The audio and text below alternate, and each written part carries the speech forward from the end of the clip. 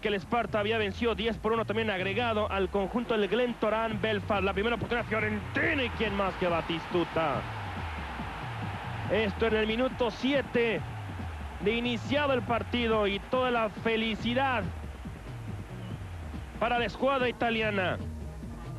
Así estaría acabando el minutos ya del segundo tiempo. El gran disparo de Stefan Schwanz, el sueco, poniendo el 2 por 0 para la Fiorentina. A nueve minutos de que terminara el encuentro, Praga con la oportunidad. Oh, sigue, le estaba poniendo el 2 por 1. Se estaban acercando los rivales y así estaría acabando el partido. Vamos amigos con la anotación de Eddie